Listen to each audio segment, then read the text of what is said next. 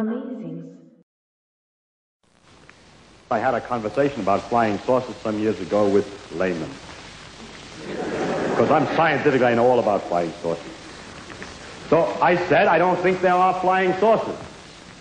So the other, my antagonist said, is it impossible that there are flying saucers? Can you prove that it's impossible? I said, no, I can't prove it's impossible. It's just very unlikely. That, they say, you are very unscientific. If you can't prove it impossible, then why, how can you say it's likely, that it's unlikely? Well, that's the way, that is scientific. It is scientific only to say what's more likely and less likely and not to be proving all the time possible and impossible.